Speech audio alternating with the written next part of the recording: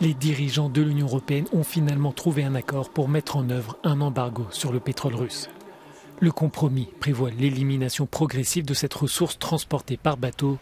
Ce consensus maintient donc en activité l'oléoduc Druzhba qui alimente la Hongrie, la République tchèque et la Slovaquie, soit 10% des importations de l'Union. Cette mesure entraînera d'ici la fin de l'année une réduction de 90% des achats en pétrole russe. C'est une décision lourde pour la Russie.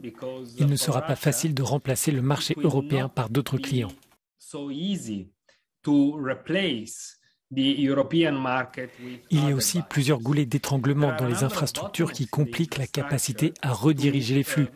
L'infrastructure pétrolière en Russie, la capacité des ports à augmenter les volumes, la capacité à trouver des navires pour le faire.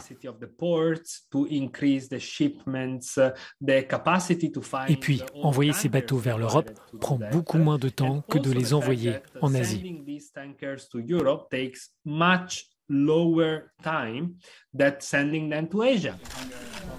Il aura fallu presque un mois de négociations pour dépasser les lignes de chacun, et en particulier celle du Premier ministre hongrois, opposé à l'origine à cette mesure. Pour le moment, il n'y a pas de précision sur la durée de la dérogation accordée à Budapest. Dans le même temps, l'Allemagne et la Pologne annoncent vouloir se dispenser d'ici la fin de l'année des approvisionnements russes, mais certaines voix critiquent ce calendrier. L'Allemagne a fait un véritable effort pour uh, réduire sa dépendance au pétrole russe. Uh, uh, C'est pourquoi nous espérions l'arrêt immédiat des importations de pétrole russe.